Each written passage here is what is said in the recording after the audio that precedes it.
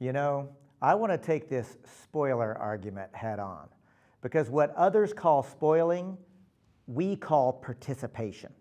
We have the right to participate in the electoral process, and I and you have the right to cast our vote for the candidate that most represents our principles and values.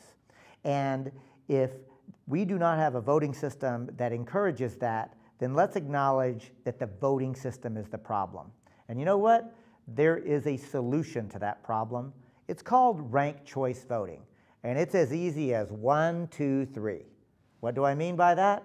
Imagine a voting system that empowers you, the voter, to actually fully express your opinion. If there are three candidates, you get to rank order them in terms of your preference. My first choice, my second choice, my third choice. It's just that simple. Counting the ballots is equally easy.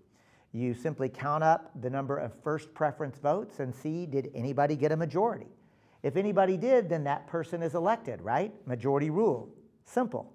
But if nobody actually got a majority, then you simply eliminate the lowest vote getter. After all, that's the least popular candidate. But those people who cast their first preference votes for that candidate didn't waste their votes. Why? They've already indicated their second preference. So you simply transfer those second preference votes and now ask, did anybody get a majority? And you go through the process until there is an actual majority winner.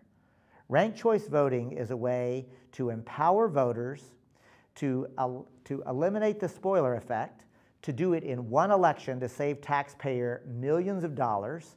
Oh, and by the way, an added benefit, it actually avoids mudslinging and character assassination and encourages candidates to actually debate one another on the issues in a civil tone.